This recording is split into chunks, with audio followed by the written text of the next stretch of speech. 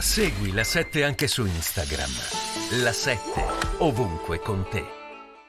dell'altro Due matrimoni alle spalle, cinque figli e un'eredità imperiale, 7 miliardi di euro, secondo le stime di Forbes, alla prova del testamento. Come avverrà la successione del terzo uomo più ricco d'Italia? Di certo la partita più delicata è quella di Fininvest, la cassaforte di famiglia, con le sue partecipazioni in Mediaset, Mediolanum e Mondadori e la gallina dalle uova d'oro, circa 4 miliardi di patrimonio netto. Al momento il 61% è in mano a Berlusconi, il resto diviso equamente tra Pier Silvio, Luigi, Barbara, Eleonora e Marina, la figlia maggiore, avuta dalle prime nozze con Carla Elvira Dall'Oglio e anche la presidente della società. Sa perché sono più vicino a Marina? Perché mi è diventata anche, oltre che figlia, direi sorella e madre. Ed è sempre Marina a dirigere una delle tre M quotate in borsa, la Mondadori. Al centro negli anni 90 della guerra di Segrate tra Berlusconi e De Benedetti, oggi è un colosso editoriale da quasi un miliardo di euro. Fininvest ne possiede il 53,3%. Ma il gioiello della corona, il più prezioso, è Mediolanum, vale oltre 6 miliardi di euro, due terzi appartengono alla famiglia Berlusconi.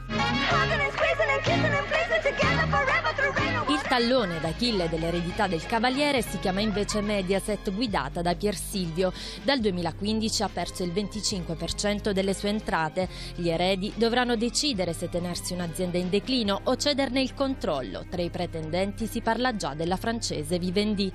E poi il Monza Calcio, il Teatro Manzoni, ma il regno di Berlusconi non tramonta qui. Fino a dire Berlusconi a casa, disponendo di 20 case non saprei in quale andare.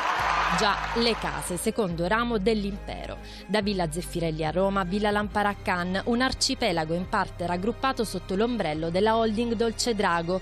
Berlusconi ne possiede il 99,5%, le briciole a Pier Silvio e Marina, valore totale 650 milioni di euro.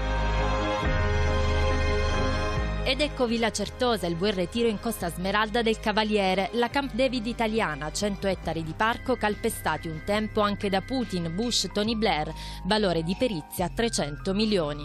Senza contare gli altri vascelli personali, Villa San Martino ad Arcore e Villa Campari sul Lago Maggiore. Come sarà divisa la torta lo svelerà il testamento anche per Marta Fascina, accanto al Cavaliere fino alla morte. Con lei il 22 marzo scorso le nozze furono solo simboliche.